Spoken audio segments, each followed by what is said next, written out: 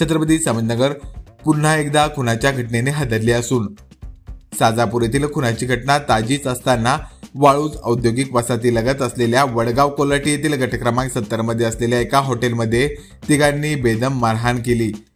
या घटनेत एकाचा मृत्यू झाला तर अन्य एक जण गंभीर जखमी झाल्याची घटना आज सकाळी दहा वाजेच्या सुमारास उघडकीस आली आहे. वाळूज औद्योगिक परिसरात सहा दिवसांपूर्वी गोळीबार करून एकाची निर्गुण हत्या केल्याचा प्रकार उघडकीस आला होता. या घटनेतील आरोपीचा सुगाव पोलिसांना लागतच नाही. तोच M I D C Waluj police ठाण्याच्या हद्दीत साजापूर वडगाव कोल्हाटी परिसरात पुन्हा एक खुनाची घटना उघडकीस आली आहे. हॉटेल यस बॉस येथे वेटर म्हणून काम करणारा राजू मुरकटे व त्याचा मित्र ज्ञानेश्वर देवरे.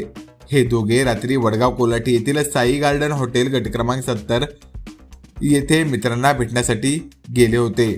यात राजू मुरकुटे ज्ञानेश्वर देवरे ओम बुळे सागर ढवळे व अंकुश मानकर यांच्यात वाद झाला. या वादामध्ये राजू मुरकुटे हा गंभीर जखमी होऊन मरण पावला.